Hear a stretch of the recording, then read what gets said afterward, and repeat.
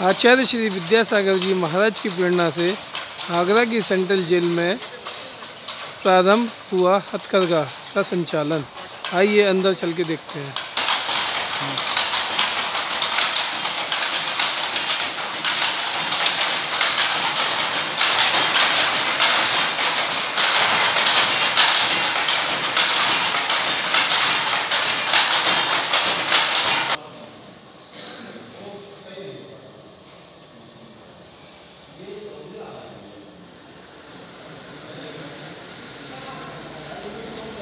दादा कितने साल का आपको यहाँ पे कारावास हुआ है? तीस साल हो गए।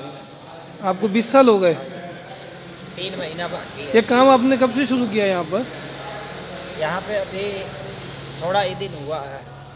कैसा लग रहा है आपको ये? पहले बहुत अच्छा लग रहा है। आगे का क्या? ये बहुत अच्छा काम चालू करा है। आगे भी जो है लोग कमाएँगे इसमें। और सुकून से रहेंगे। काम करके कैसा लगता है आपको? अच्छा है काम।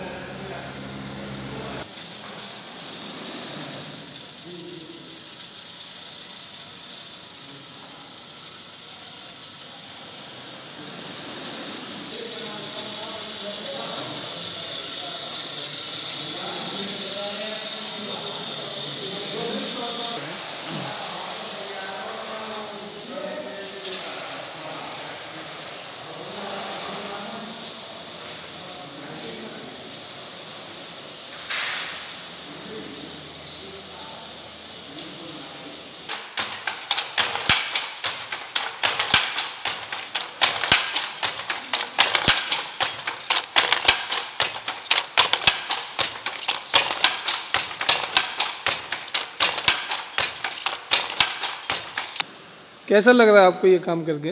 अच्छा लगता है जी। लगभग पंद्रह साल से ये काम कर रहे हैं हम। और इसको करने से जो है, अच्छी नींद भी आती है हमको। और कुछ हमारा जो है, आर्थिक मदद भी हो जाती है हमारी, जिससे हम परिवार वालों की आर्थिक मदद कर पाते हैं। और आत्मिक शांति मिलती है काम करने से। दिन बढ़िया गुजरता है हमारा। जाने के बाद भी इस काम को करने की इच्छा है।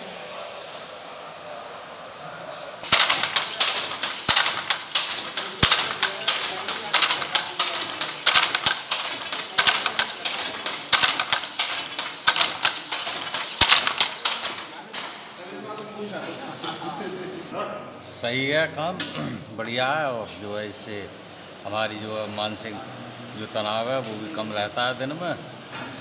और जो है रात को नींद भी सही आती है। बस, और जो है, अभी जो काम कम है, और बढ़ाने की उसे करें।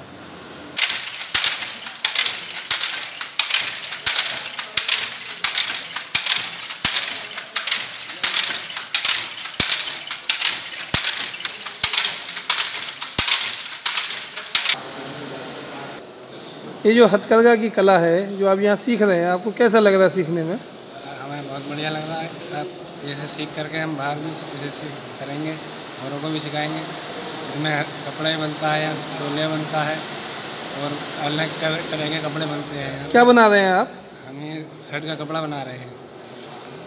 ये कला सिखाएँगे हम सीख के अपना गुजारा करने के। खुश हैं आप इस काम से? हाँ बढ़िया से खुश है।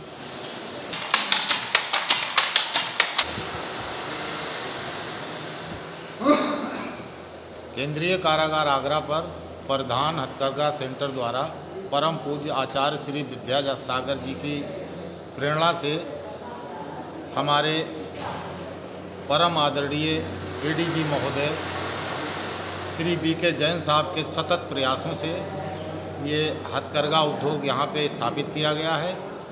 अभी तो यहाँ पे प्रशिक्षणरत बंदी काम कर रहे हैं और छोटे पैमाने पे काम हो रहा है। आगे चल के इसको और बढ़ाया जाएगा। हमारे डीआईजी महोदय श्री संजीव त्रिपाठी का पूर्ण सहयोग है इसमें और इस कार्य में लगे बंदी जो है, यहाँ पे शर्ट, पैंट गमछा, तौलिया वगैरह बनाए जा रहे हैं, जिससे इनको प्रशिक्षण में भी मजदूरी मिलती है, जिससे अपना घर पे पैसा भेजते हैं और अपने बच्चों का भरण पोषण जो कर रहे हैं, बाहर निकलने के बाद, छूटने के बाद अपने इन प्रयासों में लगे रहेंगे और एक छोटी इकाई खोल कर भी अपने घर का भरण पोषण कर सकते हैं। और हमारे यहाँ सिलाई उद्योग भी स्थापित है।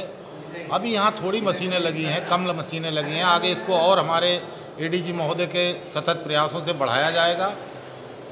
और यहाँ पे हमारे सिलाई मशीन द्वारा इसकी सिलाई और पैकिंग भी की जाएगी।